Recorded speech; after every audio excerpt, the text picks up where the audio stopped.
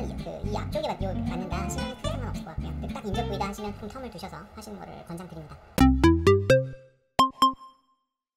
안녕하세요. 뉴헤어 김진우입니다. 모발 이식하고 이마 필러를 동시에 계획하고 계신 분이 질문 주셨어요. 토니 퍼거스 님이 유튜브 댓글로 질문 주셨습니다. 남자 이마 필러는 hairline 모발 이식하기 전에 하는 게 좋은가요? 아니면 모발 이식 후 하는 게 좋은가요 그리고 그 사이 텀도 어느 정도 둬야 되는지 알려주세요 라고 하셨어요. 의사마다 조금 의견이 다를 수 있습니다. 이건 절대적으로 뭐 어떤 금기사항이라든가 권고사항이 있는 건 아니고 텀을 충분히 두시면 둘 다 상관은 없을 거예요. 지방이식이나 모발이식이나 한 1개월 정도 텀은 두시는 게 안전하긴 해요. 스케줄상 이렇게 여러 번 나눠서 쉬기가 사실 사회적으로 좀 쉽지 않잖아요. 그래서 짧은 텀 안에 이제 수술도 하시고 모발이식도 하시고 지방이식도 하시고 아 필러도 맞추시고 하시고 싶을 수 있는데 그러니까 인접 부위만 아니면은 동시에 하셔도 되거든요. 이식하는 부위 바로 근처에 필러나 지방 이식을 하는 게 아니면요. 근데 이제 필러를 먼저 하셨을 때 그 마취제랑 이런 게 들어가잖아요. 팽창액 같은 거를 주사를 하는데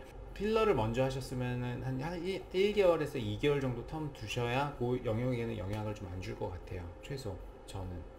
그리고 모발 이식을 먼저 하시면 생착은 열흘 정도면 어느 정도 결장이 되지만 요 주위 부위의 상처는 한 달 정도는 되셔야 80% 회복하는 걸로 나오거든요. 한 달 정도는 텀을 두 개를 두셨으면 좋겠고요. 이식은 여기를 하는데 필러는 이, 그, 이 앞쪽에 맞, 요, 맞는다 하시면 크게 상관없을 것 같고요. 근데 딱 인접 부위다 하시면 조금 텀을 두셔서 하시는 거를 권장드립니다.